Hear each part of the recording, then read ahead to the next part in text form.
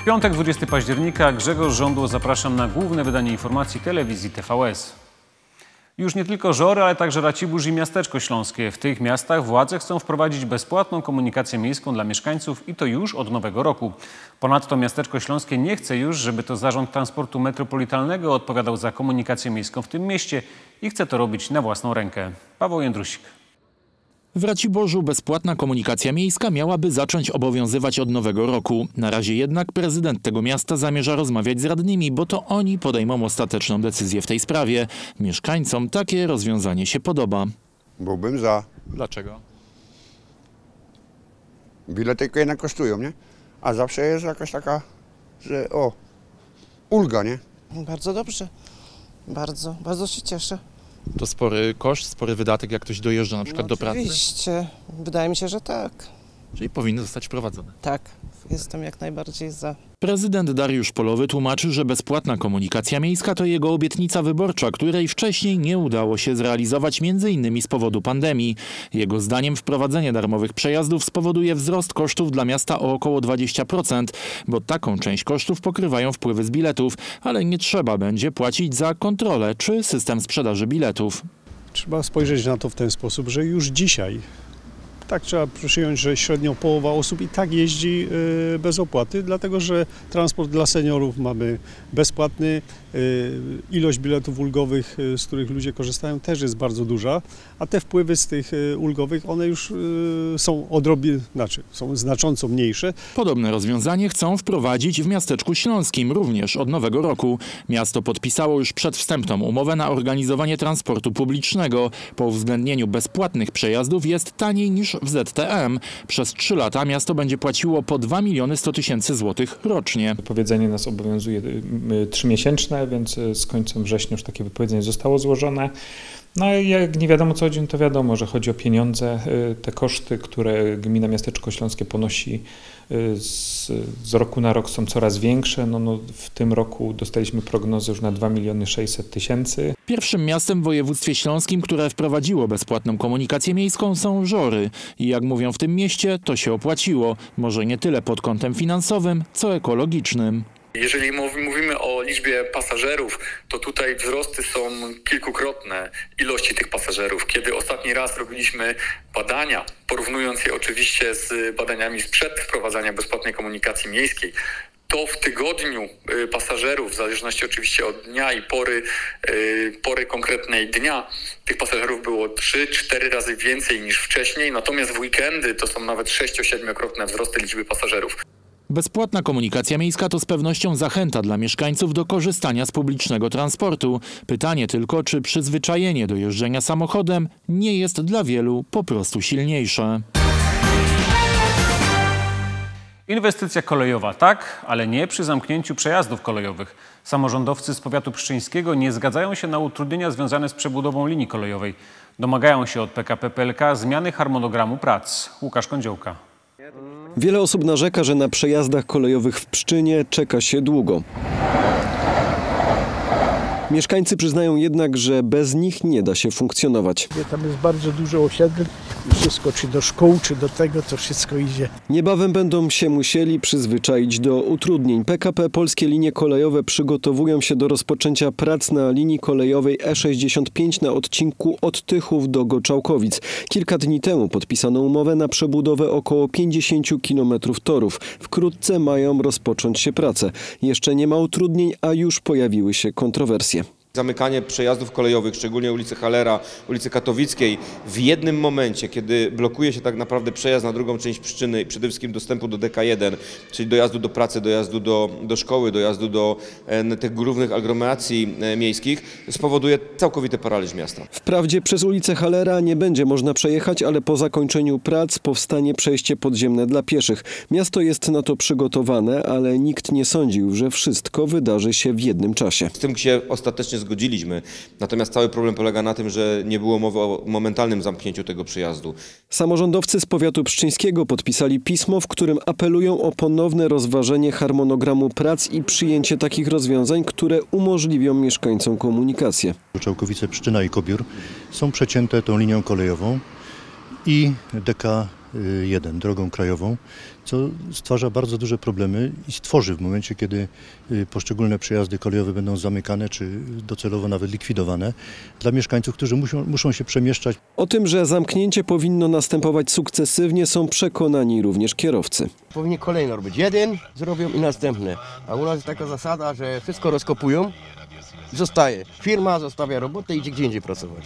I ściągnie się to nie rok, tylko dwa, trzy, cztery. Władze gmin oczekują, że poszczególne przejazdy będą zamykane dopiero po wybudowaniu nowych obiektów. Między innymi tu, na ulicy Dworcowej, powstanie przejazd pod torami. Spółka PKP Polskie Linie Kolejowe zapewnia, że ostateczne decyzje jeszcze nie zapadły. Prowadzone są rozmowy z przedstawicielami gmin i powiatu w zakresie możliwości organizacji ruchu drogowego w trakcie inwestycji. Przedstawiono robocze rozwiązania, które były omawiane e, i będą omawiane. Kolejne spotkanie w sprawie utrudnień za kilka dni. Jak zaznaczają samorządowcy, nie są przeciwni inwestycji, która pozwoli podnieść prędkość pociągów do 160 km na godzinę i sprawi, że na przejazdach kolejowo-drogowych będzie bezpieczniej. Jednak zanim to nastąpi, trzeba będzie przetrwać utrudnienia. Prace za prawie miliard złotych mają potrwać do końca 2027 roku. Ulica Dworcowa w Bytomiu już bez samochodów. No prawie, bo są osoby, które mogą jednak wjechać na nowy miejski deptak. W pierwszych dniach nie obyło się bez problemów z wysuwanymi słupkami. Doszło nawet do uszkodzenia jednego z samochodów. Łukasz Kądziołka. Na otwartej ostatnio po przebudowie ulicy Dworcowej w Bytomiu samochodów prawie nie ma. I właśnie o to chodziło, żeby deptak był faktycznie deptakiem. Od poniedziałku obowiązują tu nowe zasady. Wjeżdżać mogą tylko niektórzy. Miasto ma bazę danych z numerami rejestracyjnymi pojazdów. Na podstawie tych numerów e, system detekcji tablic rejestracyjnych rozpoznaje te numery i pozwala mieszkańcowi wjechać na teren ograniczający, ograniczony słupkami i posiadający znak zakazu wjazdu. Słupki nie od razu działały tak, jak powinny. Przekonał się o tym ten kierowca, którego miskę olejową uszkodził automatyczny słupek. Kamera zadziałała, ale pętla indukcyjna, która znajduje się pod nawierzchnią i powinna wykryć samochód, już nie. Inni kierowcy mają jednak lepsze doświadczenia. Nie, w pierwszy dzień były małe problemy, teraz ostatnio cały czas bez problemu się wyjeżdża i wjeżdża.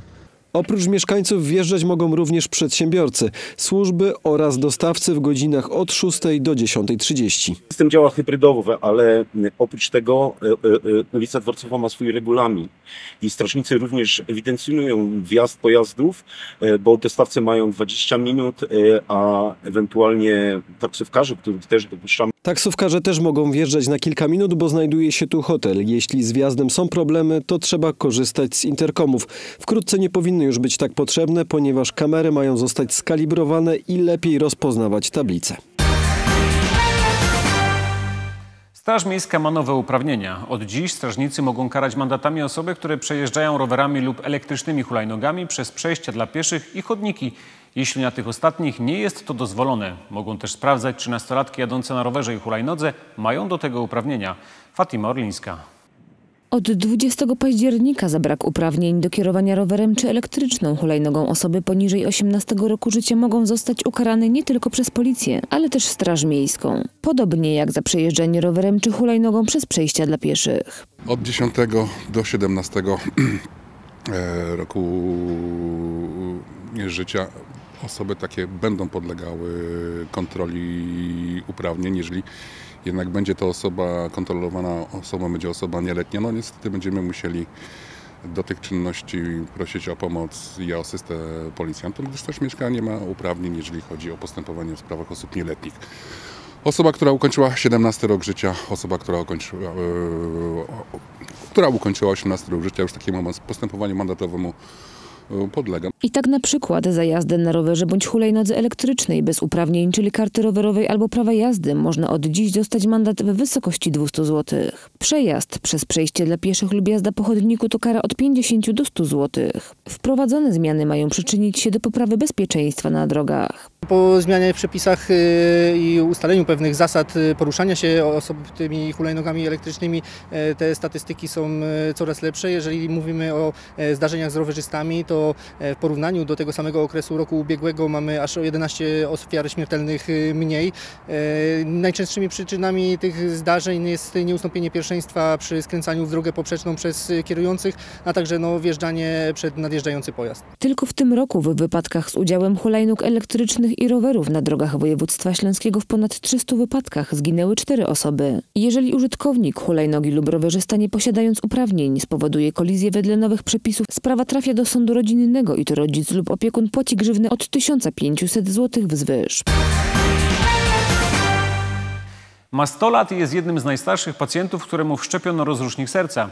W Górnośląskim Centrum Medycznym w Katowicach pan Józef przeszedł w czwartek zabieg wszczepienia rozrusznika i wszystko wskazuje na to, że weekend spędzi już w domu. Jak przyznają lekarze, którzy operowali stuletniego pacjenta, w tym przypadku wiek to tylko liczba, bo serce pana Józefa, choć na chwilę zaniemogło, wskazuje na dużo młodszy wiek biologiczny. Fatima Orlińska. Pan Józef, choć skończył 100 lat, na dobre samopoczucie i na stan zdrowia również nie narzeka. Jednak jakiś czas temu jego serce zaczęło pracować zbyt wolno. To zagrażało jego życiu. Serce zaczęło bić e, z przerwami, czyli były wypadki, że nie było dobrego do, dotlenienia serca. I wtedy zwróciłem się do pana profesora Golby, żeby to z tym coś zrobić. No i profesor bardzo szybko zdiagnozował, co to jest i zdecydował, że jedyny ratunek, żeby poprawić, poprawić tą arytmię, zastosować rozrusznik. O ile zabiegi wszczepienia rozrusznika nie są niczym dziwnym, to pacjenci w wieku zbliżonym do pana Józefa to zaledwie kilka przypadków w skali kraju. Sama operacja, która została przeprowadzona w Górnośląskim Centrum Medycznym w Katowicach nie była skomplikowana, a zespół medyczny podjął się jej wykonania ze względu na bardzo dobry ogólny stan zdrowia stulatka. Zabieg technicznie przebiegł bez problemu. Co ważne, zastosowałem u Pana najnowszą, e, najnowszą metodę stymulacji serca polegającą na wprowadzeniu elektrody w najbardziej fizjologiczne miejsce do stymulacji. To oczywiście poprawia zarówno jakość życia pacjenta, poprawia e, komfort życia i w pełni zabezpiecza pacjenta przed nawracającymi utratami przytomności. Górnośląskie Centrum Medyczne to ośrodek doświadczony w tego typu zabiegach, dlatego ryzyko powikłań było małe. Optymizmem medyków napawa fakt, że mimo arytmii serce pana Józefa przed operacją nie miało skomplikowanych wad. Wszystko sobie już y, sprawdziliśmy. Całe urządzenie działa dobrze, te wszystkie parametry nasze elektryczne są niskie, miejscowo też stan wygląda dobrze, pan czuje się dobrze. W związku z tym najważniejsze, żeby pan teraz się lepiej poczuł, a najlepiej poczuje się po prostu wśród rodziny w domu. Urządzenie wymaga jednak monitorowania, w związku z tym pan Józef będzie musiał odwiedzać szpital co 3 lub 6 miesięcy. Taki był piątek, miłego weekendu i proszę o nas pamiętać w poniedziałek. Do zobaczenia.